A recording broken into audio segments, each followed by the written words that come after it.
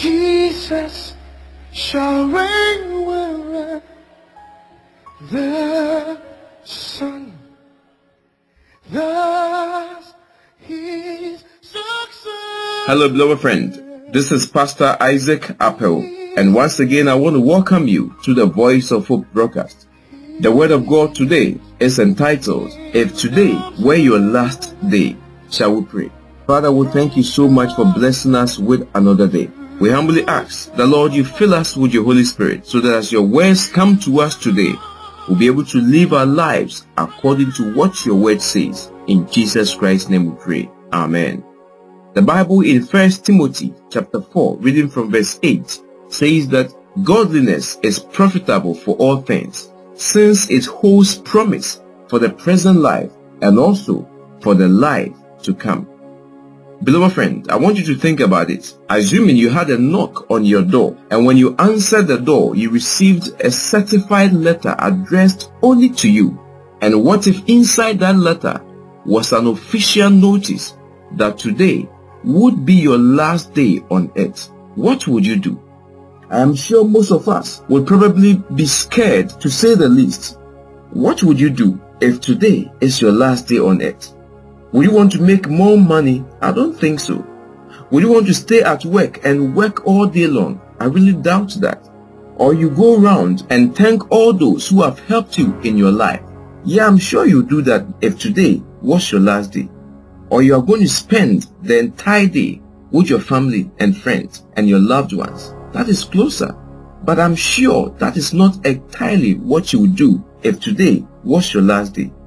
Or you spend that day with God in prayers asking Him to forgive you of all your sins.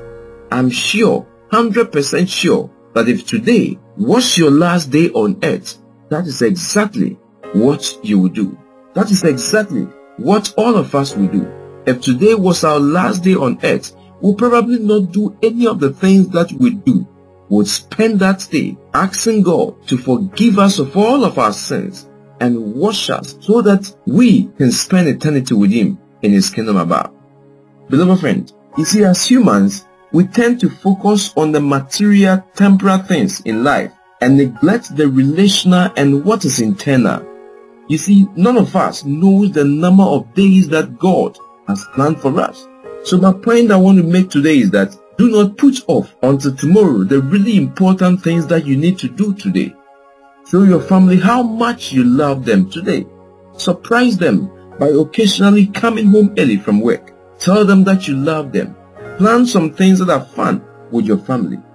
And say thank you to those who helped you and were there for you when you needed them.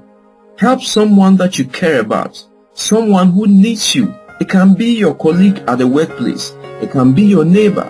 It can be a friend. Just offer a helping hand to someone who needs you.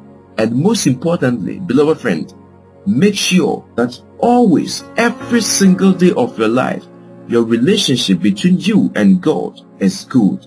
Because you have no idea when you'll be called to account for your life.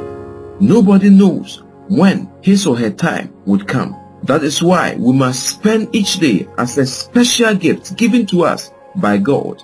And we must live each day glorifying God so that any time that he calls us, we'll be able to give good account, an account that would earn us a place in his kingdom above. Beloved friend, God became a man in the person of Jesus to show us how to do all these things. Today may not be your last day you live on earth, but it may become a great day for you to make things right with God and for those that you care about, so that any time when Jesus should come, you will be with him in his kingdom above.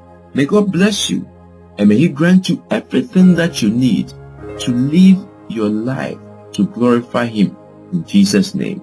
Father, I want to thank you so much for giving us your words today. I want to thank you for reminding us on how we must live our lives. So in a special way, we ask the Lord, you fill us with your Holy Spirit. Help us to number our days. Help us to live each and every day to glorify your name. So that any time that you call us or any time that you come, we will be found worthy to inherit your kingdom. In Jesus Christ's name we pray. Amen. Be a life changer. Millions of daily audio devotionals and Bible studies just like what you just listened to are delivered to believers around the globe to strengthen their daily walk and deepen their relationship with Jesus Christ. Please consider participating in this kingdom work through a gift of any amount to help sustain the work of Voice of Hope Media. Call or WhatsApp us on 00233 243 851636 to donate. God bless you.